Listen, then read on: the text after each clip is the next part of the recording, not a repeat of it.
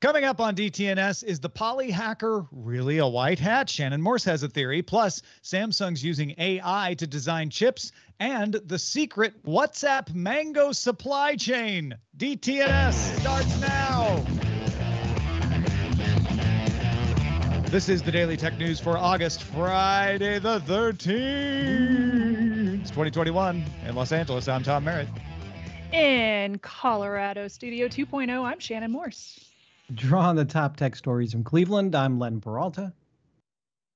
And I'm Roger Chang, the show's producer. Uh, we were just talking about baseball mascots on Good Day mm-hmm. Internet and admiring Shannon's new studio. Uh, if mm-hmm. you would like that conversation, become a member and get Good Day Internet. Patreon.com slash DTNS, where you can join our top patrons like Norm Fazekas, Chris Allen, and Mark Gibson. Let's start with a few tech things you should know. Reuters sources say the European Commission will present legislation next month to establish a common charger for mobile phones. Apple, Samsung, Huawei, and Nokia previously signed a voluntary memorandum of understanding in 2011 to harmonize chargers on new phones coming to market. An EU study found that in 2018, 29% of chargers sold with phones used USB micro B connectors, 29% had USB C, and 21% had a Lightning connector, aka they were from Apple the Microsoft Windows print spooler is going to end up being the most secure element in all of Windows when all of this is said and done. Microsoft re- released an out of band security advisory acknowledging yet another print spooler spooler vulnerability. This is CVE 2021 36958, which appears to be a local privilege escalation vulnerability that needs user interaction to be exploited. Microsoft has not released a fix, but it appears if you restrict the device to only install printers from authorized servers in a group policy, as long as the server isn't compromised, you'll be able to use Print Spooler. How many more Print Spooler vulnerabilities could there be, kids? Uh, in an interview, Xbox head Phil Spencer said that Microsoft was open to discussions to bring Xbox Game Pass to other console platforms, although currently there's no interest from other parties to do so. Uh, Spencer said Microsoft will continue to focus on open platforms like the web, PC, and mobile, so no Nintendo for now. Facebook is adding voice and video calls to its quote secret conversation option that lets you use end-to-end encryption to voice and video calls in Messenger. Messenger text got end-to-end encryption in 2016 with the secret conversation option. Facebook also is adding some more time options to set text messages to disappear so you can now choose from between 5 seconds and 24 hours. And Facebook is conducting some beta tests as well. Some users will get an option or for end-to-end encrypted group chats and to convert an ex- existing chat thread to be end to end encrypted as well. And some Instagram users will also get an option for end to end encryption of Instagram direct messages. I am looking forward to that part. And Disney Plus subscribers increased more than 100% on the year in Q3 to 116 million paid subscribers, beating analyst estimates. Disney's on a roll. ESPN Plus subscribers were up 75% to 14.9 million, and total Hulu subscribers grew 21%, up to 42.8 million. All right, let's talk about Samsung again, but not foldable phones this time. Samsung confirmed it is using software called DSO.ai from the company Synopsys to design its Exynos chips. They told The Wired, yep, we're doing that, although it's not clear if these have gone into production or if they are going to go into production or what products they might show up in. Synopsys software is trained by reinforcement learning on years of chip design. So basically, reinforcement learning means when it creates a design that works or improves on a chip, it learns from that and makes more like that. It can automatically draw up the basics of a design, including the placement of components and how to wire them together. Synopsys works with dozens of companies, not just Samsung. And Synopsys says its clients generally see performance gains of up to 15% when it uses the AI designs instead of doing it by hand. Samsung and Synopsys aren't the only ones doing this. Google has published a paper about using algorithms to arrange components in its Tensor chips. NVIDIA and IBM are exploring software aided design, and Synopsys has a competitor called Cadence that is developing tools to help with mapping out chip blueprints. Software like this only helps set out the designs. You still need humans. Human experts are needed for some of the more complex tasks to finish the design, but still, even just those basic designs can take weeks to months for humans to make, and the software can get the basics down in a few days, uh, letting designers experiment with more ideas than they would have time for otherwise. Wired quotes MIT professor Song Han, who notes that these advancements raise the possibility of having algorithms develop not only the hardware, but software optimized to run on it at the same time. Professor Han said AI powered co design of software and hardware is a rapidly growing direction. I am so interested in this because I've been following the Pixel 6 line and we've heard about those tensor chips. Uh, however, Google has not publicly stated whether or not those are going to have the same kind of technology built into them as they have in their um, overall tensor product that they have been using to develop AI on these chips. So I'm really curious to see in the next couple of years if we're going to see a lot more of these AI platforms built into consumer products like cell phones.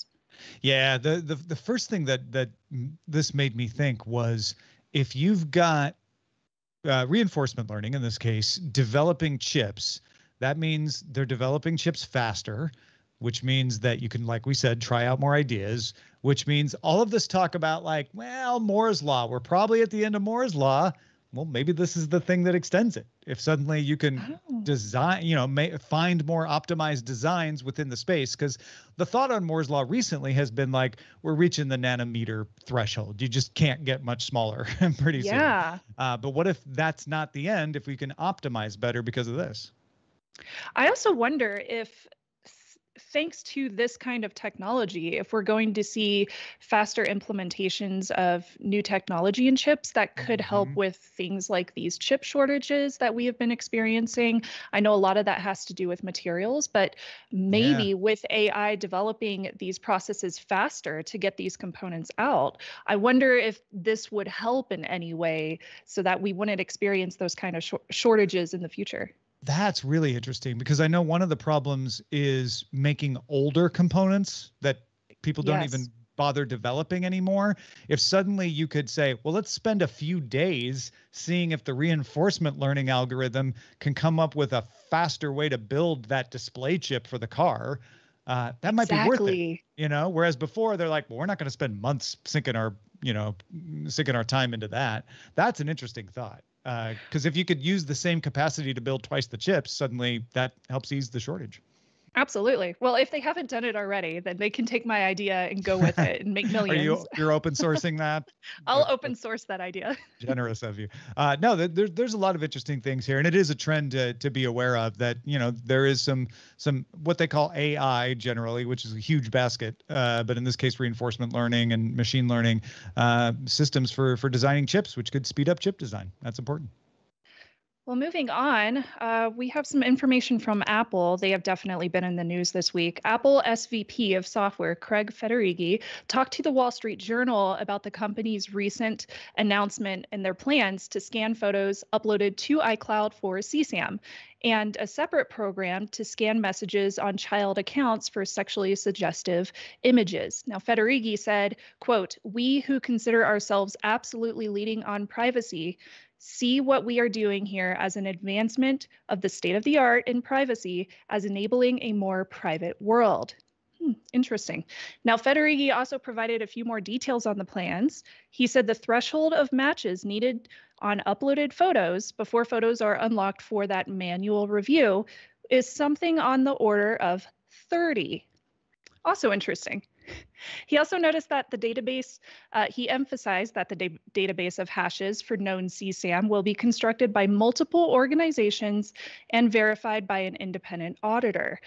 Reuters sources say an Apple Slack channel had more than 800 messages about the new policies, with some employees expressing concern that the feature could be exploited for censorship. Now, those employees were mainly outside of lead security and privacy roles, but some defended their company's policy and said that it was a reasonable response. And Federighi admitted Apple maybe should not have announced both the photos and the messages plans at the same time. And he said, I quote again, by releasing them at the same time, people technically connected them and got very scared. What's happening with my messages? The answer is nothing is happening with your messages. And and that's true for almost everyone, right? Unless unless your account identifies you as 13 years old or younger, nothing is happening with your messages. I Shannon, what what has been your take? I, have talked a lot about my evolving take on this, but how have you reacted to these plans? Um, I'm glad you asked, Tom. I'm glad you asked. Uh, I did my own story about this on on Threatwire, and uh, I'm very much a privacy advocate. So this is concerning to me with the idea that these concepts could be used in the future for some kind of other response, not just for CSAM. Now, I also mentioned that I have nieces myself and I want to protect them in any way that I possibly can. That's incredibly important to me but also my security when I'm using an iPhone is very important to me as well. And I don't want Apple to make some kind of mistake if I took a picture of my niece at the pool, for example. Like I I made the example of with the messages, uh, if a whole bunch of parents were having a pool party for their kid during a birthday or something like that, like how do we know that their construction, their hash algorithm is going to correctly uh, verify that the photos that you know parents are sharing amongst themselves or the kids are sharing even are totally normal and you know not something to be worried about? Uh, how are they going to make sure that those are not matched up to some kind of hash? Now they did say that over the course of a year, I think there was like a very, very teeny tiny minor chance that they would get one incorrect. And if that was the case, you could reinstate your account because they would lock it down. But even with that said, there's still that potential, and there is the potential of something happening in the future, even though Apple said that they would not relegate this technology to anything that governments asked for. I also disagree with what Federighi said when he said that people were connecting messages to the photo scanning. I don't think that that's entirely true. When I read it and I when I read the PDFs and everything about this new technology and the plans that they have, uh, I did not read it as such in any way possible. I read these as two completely different pieces of information that they're implementing to fight the same problem, but they're still two completely separate technologies. Yeah, I I think he's right that they shouldn't have announced both of these at the same time because I do see other people confusing them, uh, and and they they and and it's having it's forcing us to have two separate conversations at the same time. Uh, so you know I don't know what good it does for him to say we shouldn't have done it that way, but yeah, sure. Maybe maybe it would have been better if you did these one at a time so we could focus on each. Because at first I was more concerned about the messages because of the leaking of information from what is otherwise end-to-end encrypted. Uh, over the course of reading a lot of people's uh, thinking about this and security experts, it seems like security experts in general aren't as concerned about the messages thing because right. it only notifies and the images are only saved when the end user opens them, which means that they would have been available for parental review anyway, uh, no matter what they were. It's just that there's a notification saying, hey, make sure to review that one. So the more I think about it, the more I'm like, I don't love it, but maybe the other one is the bigger problem, which is I'm not so concerned about accidental hashes. I think they've done a very good job of saying these hashes are come from known images. The mm-hmm. only way they could be accidentally matched is because they're trying to do partial images. They're trying to be able to say like even if it's been cropped. Uh, that hasn't been independently tested. That's where it could go wrong. But the fact that they have uh, now we know up to 30 of these have to be mismatched. It does seem unlikely that if you have yeah. that many mismatched that you aren't up to something and then even then they have human manual review so i'm fairly comfortable with the idea that like it's going to be really hard for an accidental match on the photos side to happen i i, I think I, I think I just one last thing. I think the problem with is this the security people that like Alex Stamos have pointed out is Apple just ran in and ended the balancing argument instead of saying hey we'd like to do yes. this let's let's nail it down. Let's all agree where the balance should be. They said the balance is here and i think a lot of security researchers are saying well i'm okay with there being a balance between combating csam and privacy but let's talk about it first. You don't get to just wade in and decide Yes, 100%. Um, I do agree. I'm glad that he did tell us like how many photos that have to match the algorithm before they're going to mention something or going to shut down your account and alert authorities. So something on the order of 30 makes a lot more sense to me. Um, I think that with consumers, we do have to value our privacy and our security when it comes to our own devices. And I think there's a there's more privacy held there than when you're putting things up in a cloud, Yeah. which many clouds are already doing this kind of scanning, as we already know. Um, so there is that that point to make. But yeah, I I am glad that they did tell us how many before they're going to like shut down my account because they think my niece is something bad. yeah, yeah, and, and and I feel pretty comfortable about that. I I, I really agree with Stamos. Uh, Apple should hold Stamos off implementing this point. and just and and engage with the security community and and and come to an understanding of where that balance should be, so that everybody can get behind it. Because I do think They- what Apple's trying to do is the right thing.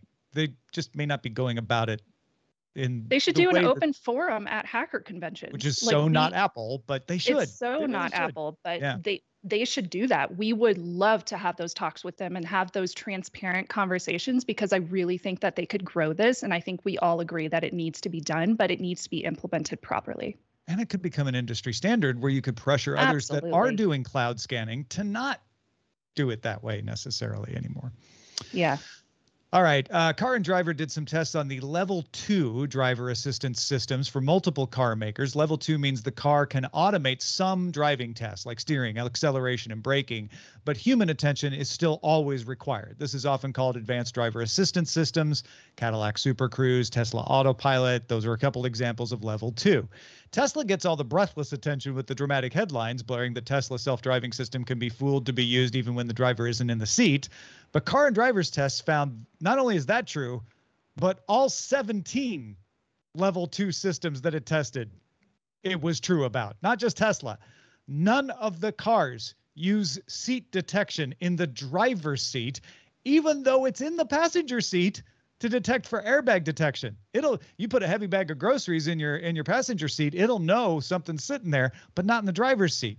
So you just need to trick the detection system if you want to use it without being in the driver's seat. Tesla's system relies on checking for torque on the steering wheel. That's just a little bit of resistance that comes when your hand is on the wheel. Doesn't have to be a lot. That's defeated easily by putting a small weight on the wheel, like an ankle weight. That fooled all but three of the cars in the car and driver test. The BMW and Mercedes systems use touch sensors, not torque. So to fool those, a person would have to sit in another seat and then reach over and touch the wheel, but it could be done. Uh, and then the GM Super Cruise actually allows hands free driving and works only on approved stretches of highway. So it won't work if you're on a test track, for instance. They had to shut down a highway to go test it. So to make sure you're paying attention, GM Super Cruise uses a camera to look and see if you're paying attention, if your face is there and looking forward. Except Car and Driver was able to fool that system with a pair of novelty glasses with eyeballs printed on them. So terrible. that said, Shannon, in all of these cases, car and driver had to do something intentional. They either had to attach a weight, or they had to like not sit in the seat but still reach out, or they had to like wear novelty glasses. This is not, none of these things are things you'd accidentally do, right? Uh, I would hope not. I would hope that you're responsibly driving your vehicle on a public road.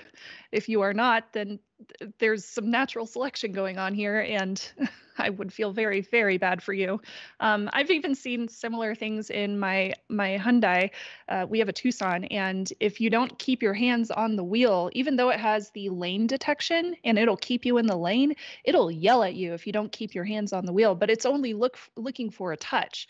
You don't have to like move Mhm. it. There's no torque involved. You just have to touch the wheel. So who's to say that I I couldn't sit in the passenger seat and just touch the wheel and use lane Right. detection and stick it in cruise control. I would never do that because that would be really scary, but there's a thing there. I mean, but even with old-fashioned cruise control, who's to say you couldn't, you know, just put a, a, a brick on the accelerator and you know set cruise and then let it take off? Like, part of me says like it's good to know that these are the weaknesses in the systems, car and driver and Jalopnik both uh, were very uh, adamant that these are unsafe systems. I, I think they're not foolproof systems, but I don't know if they shouldn't be allowed. Although the argument goes, when they can drive 80% of the time, it lures you into a false sense of security. So I think I think that's a fair thing to make sure people are aware of. I think the advertising that that companies have been using, and maybe not necessarily companies, but fans of those companies have used, saying like automated driving and yeah, uh, things like maybe have given people the wrong perception of how these vehicles should be used. And I don't think that really helps people be responsible on the road like they should be. Yeah. Uh, well, folks, let us know what you think. Feedback at dailytechnewsshow.com. If you need a little deeper explanation on big tech topics like this, uh, we've got a show for you. Uh, we just had an episode about DNS. Uh, in the feed. Uh, we've got an episode about HDMI 2.1 in the feed. It's no a little more uh, 10, 15 minutes uh, to explain a topic in depth. You can get it either in the Patreon feed or by becoming a subscriber at knowaLittleMore.com com. The Poly Network confirmed it offered a $500,000 bug bounty to Mr. White Hat, the party that recently used a security exploit in digital contracts to, to take $611 million in crypto assets from its network before subsequently returning the funds. In statements exchanged on the blockchain, blockchain, Poly said, We believe your action is white hat behavior. We plan to offer you a $500,000 bug bounty after you complete the refund fully. Also, we assure you that you will not be accountable for this incident. In a statement, Poly said, We have also come to a more complete understanding regarding how the situation unfolded, as well as Mr. White Hat's original intention okay, I love that they call him Mr. White. I know, so funny. that's uh, too good. Uh, we we talked about this in depth earlier this week uh, about how how it was done, uh, and we talked a little bit at that point. Uh, they had given about half the money back. Looks like they've given almost all of it back. Uh, it sounds like Poly Network is convinced that this was not malicious, uh, that it was helpful, that they've been able to plug the the vulnerability because of it, and no harm done which seems weird when you had $611 million go missing for a moment. But hey, if it's coming back, I guess no harm, no foul in the end. The stance of Mr. White Hat is what is so fascinating to me because it's unconfirmable. It's just, you know, you can write anything uh, on the blockchain that you want as a comment, but it seems to be that whoever did this is trying to convince us that, like, no, no, no, I found the vulnerability and I wanted to make sure that these coins didn't go missing. So I protected them and now I'm giving them back. Shannon, do you have a, a an inkling what might be really going on here? Hmm. Um, so there has been a rumor mill, I will call it, on Twitter. When this first started, uh, a lot of folks in the information security and hacker industry and community uh, uh, made the made the assumption that maybe the Poly network is behind this hack, and they are playing it off mm. as being hacked by a third party so that they could write off this vulnerability and be able to keep the money even though it went quote unquote missing for a short conspiracy period of time. Theory. Interesting. It's uh-huh. definitely uh-huh. a conspiracy theory, but it there's kind of a back channel that makes sense here when you when you look at what's going on and how strange this entire thing is. Uh, the name Mr. White Hat does not make sense with how this is playing out because this is much more of a gray hat scenario of somebody who oh, finds a vulnerability, attacks that vulnerability without a contract signed with the company, without any kind of responsible disclosure, without a 60 day withholding of public statements or anything like that, in order to give the company time to patch that vulnerability and then they just steal the money and make everybody panic. I mean, there were a ton of people who were victimized by this. Yeah. And that's not something that a white hat is supposed to do when it comes to a hack. So this is definitely not something that you would normally see some from somebody who is an ethical hacker. Yeah, uh, the most recent message uh, since uh, we started recording this show uh, was earlier today and said, uh, I am considering taking the limited bounty as one source of the compensation fund for unexpected victims. So that even addresses that, but then says, but it's hard to prove that your loss is my fault, especially when you are already gambling beyond your capability. so it's like, you know, you know, give with one hand, take with the other, uh, sort of oh, thing. So weird. Yeah. Uh, there's a there's an Avengers reference, a Batman reference. So you know, rides the DC Marvel line well in in these comments here. I don't know. I'm absolutely fascinated with the the communication around this. Uh, I am too. Obviously, you can't say that Poly did this. Uh, No, if they that's did, of course a the- rumor. the white hat hacker that they got to do it the, to play Mr. White Hat is is an excellent writer. like this does feel like things people write in this kind of situation, but uh, it's not obviously faked. I don't know. Uh, I, I guess in the end, Poly gets their money back. Probably, like you say, they they they get to write it off. Uh, you know, the the any damage that they can attribute to this, uh, including paying five hundred thousand dollars as a bug bounty. The the five hundred thousand dollar bug bounty it just makes it even more puzzling to me. It's so weird. Yeah, it's so strange. I'm gonna keep following this because I, I bet I'll yeah, let us know. Uh, cryptocurrency company Circle operates a stable coin called USDC. Uh, if you're not aware, stable coin means the coin's value is pegged to a real currency, so it doesn't rise and fall like Bitcoin. USDC is pegged to the dollar. Get it? USDC, US dollar coin. One USDC is always worth one dollar. Circle has announced it intends to become certified as a fully regulated bank by the U.S. Federal Reserve, the Office of the Comptroller of the Currency, and the U.S. FDIC. If it does, Circle intends to place all its deposits, the backing for the USDC, $1 for every stablecoin it's issued, directly with the U.S. central bank. Each holder of USDC would then be backed by actual money on deposit at the Fed. Interest that the Fed pays on those reserves would go to Circle for its operations, but you'd actually have a deposit at the Fed. Now, that's significant because it would effectively make USDC a central bank digital currency or CBDC. That's the thing we've been talking about on this show that the Bahamas has, that China is testing out, that every government is basically developing. Buying a USDC stablecoin would, if this all plan- panned out, effectively be buying a deposit at the US Fed, but the Fed may not approve it. A bank called TNB tried to do a similar thing and was denied. It was trying to operate as a bank, though, with the Fed holding all of its deposits, and it was going to split the interest with the holders. Circle wants to do a slightly different thing by having a cryptocurrency backed by the deposits. In TNB's case, the Fed believed it would negatively impact monetary policy, interest rates, the success of other banks, so it denied it. But it's unclear if the difference between offering deposit accounts and operating a cryptocurrency would significantly change the Fed's assessment. Anyway, Circle says that it's willing to do whatever the agencies say it needs to do to make this happen, uh, uh, which could be a very free market way to do a USD or a, a, a CDBC, a, a central bank, a CBDC.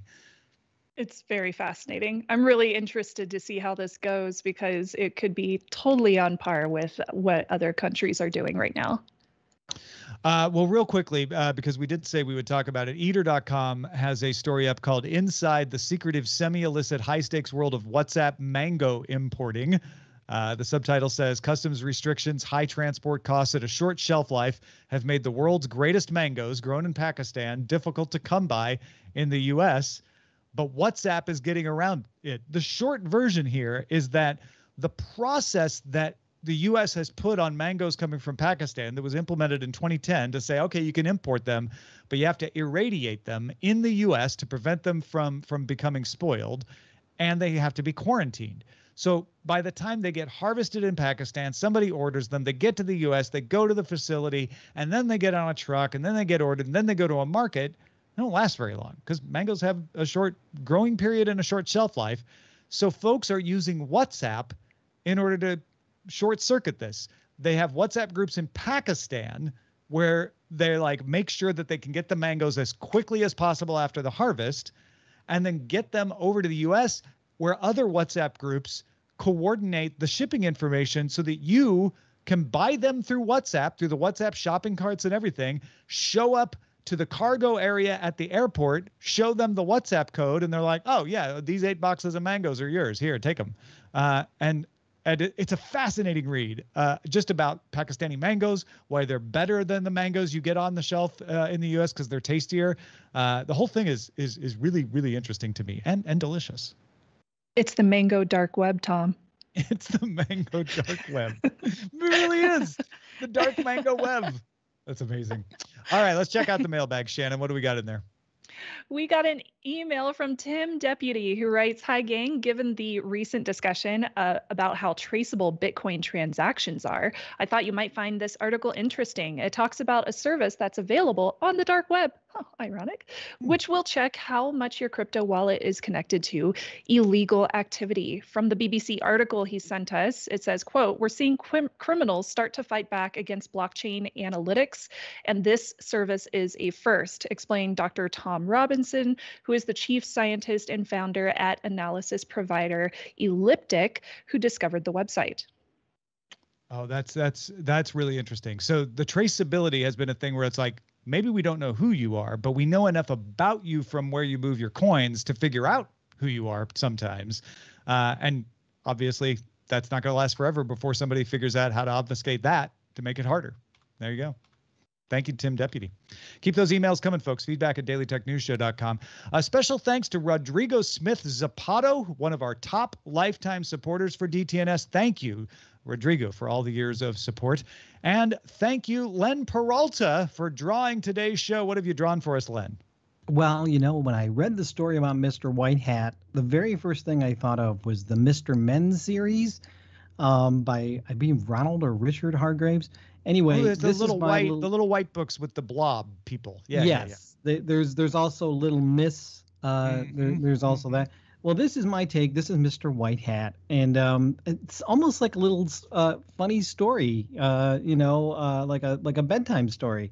Mr. White Hat gives back the bitcoins. I know that it weren't bitcoins. Uh, it was more just crypto, but it's kind of fun, and it's also fun to draw license. the little Yeah, yeah. yeah, exactly. It's kind of fun to draw the little bees in his eyes there. So if you're familiar with the Mr. Men series, you may this may be a little bit um, close to your heart. Um, this is actually right now at my Patreon. If you're a Patreon backer, patreon.com forward slash Len. Also at my online store at lenperaltastore.com. So check it out. Mr. White Hat, we say I love oopsie. it. Oopsie, I hacked your Poly. Sorry. All right, Shannon Morse, thank you so much for being with us today. If folks want to find out more of what you got going on, where should they go? youtube.com slash shannon morse where you can follow along with this entire series of me building out this new basement studio and you can see the entire process including wiring up a whole bunch of cat 6 ethernet that was super Oh. fun Good yeah times. good times always a good time wiring up the Ethernet, especially when it's done. Uh, hey, we're live Monday through Friday, 4:30 p.m. Eastern, 2030 UTC. Find out more about that at dailytechnewsshow.com slash live if you're interested. We will be back Monday with Blair Bazdarich as our guest. Talk to you then. This week's episodes of Daily Tech News Show were created by the following people. Host, producer, and writer Tom Merritt, host, producer, and writer Sarah Lane, executive producer and booker Roger Chang, producer, writer, and host Rich Stroffolino, video producer and Twitch producer Joe Kuntz, associate producer Anthony Lemos, Spanish language host, writer, and producer Dan Campos, news host, writer, and producer Jen Cutter, science correspondent Dr. Nikki Ackermans, social media producer and moderator Zoe Deterding, our mods, Beatmaster, W. Scottus One, BioCow, Captain Kipper, Jack Shid, Steve Guadarrama, Paul Reese, Matthew J. Stevens, and J.D. Galloway. Mod and video hosting by Dan Christensen. Video feed by Sean Way. Music and art provided by Martin Bell, Dan Luders, Mustafa A, Acast, Creative Ast Arts, and Len Peralta. Live art also performed by Len Peralta. Acast ad support from Trace Gaynor. Patreon support from Stefan Brown. Contributors for this week's show include Allison Sheridan, Scott Johnson, and Shannon Morse. Guests on this week's show included Chris Mancini and Nate Lanxon. And thanks to all our patrons who make the show possible. This show is part of the Frog Pants Network. Get more at frogpants.com. Diamond Club hopes you have enjoyed this program.